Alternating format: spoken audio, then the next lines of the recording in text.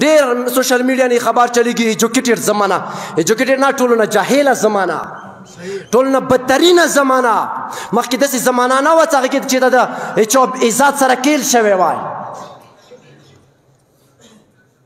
اغ تعلیم نه خوري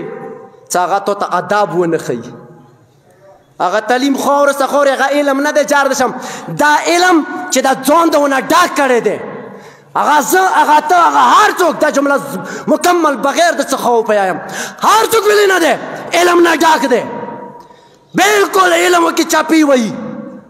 خو څه آداب ورسره نشته دی اخلاق ورسره نشته دی تمیز ورسره نشته دی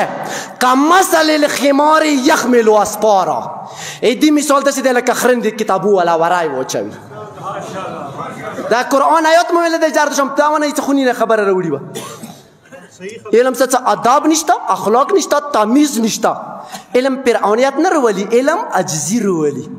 آیت الله ناصر مکارم شیرازی بزرګوار یو ډېر ښکلی مثال ورکړ دی غیون تشریف فرما دي حضور زن وغوی واجد خدای دې رحم وکه د خو زیات عمر مال ته شیرازی بزرګوار یې کنه